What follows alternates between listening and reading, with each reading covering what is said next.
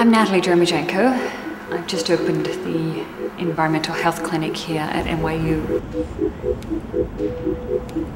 The environmental health clinic is modeled on a health clinic. People come not with their health concerns, but with their environmental health concerns. And instead of walking out with a prescription for pharmaceutical drugs, they walk out with a prescription for design interventions, data collection, and things they can do to address their local environmental issues and have them amount to something.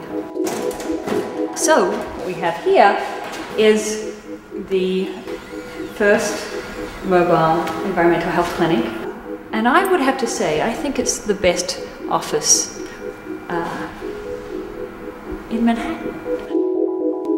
We haven't got life jackets on it yet, but um, I don't think we'll need them. And we're about to go and float it on the East River to hold office hours. We're going to go afloat, see if it floats. See if the idea floats.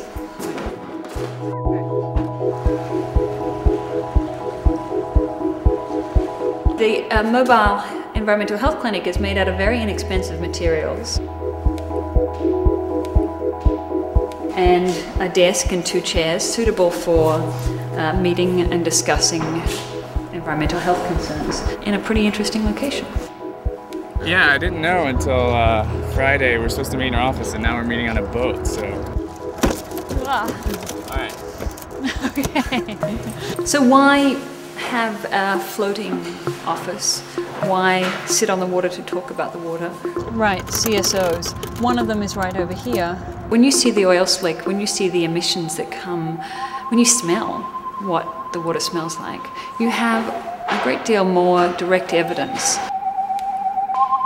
And with that evidence, you can more directly participate in the political processes around rethinking our relationship to these natural systems that we depend upon. We've decided it's going to be a women's environmental health clinic. women's health issues only because men weigh too much. But um, yeah, there, there is a source of fresh water, but it's it's along a lot of industrial sites. So I'm Right. pretty sure that any tadpole that would be placed in that would not survive very long. Right, right.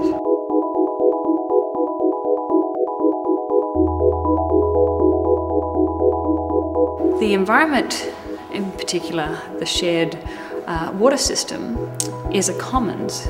It's an environmental commons. Who gets to inhabit it? You know, these small, unusual uses of the river, I think, generate many more ideas about how people could inhabit, could use, could reimagine their relationship to the local water system. Got it. Thanks. Well done.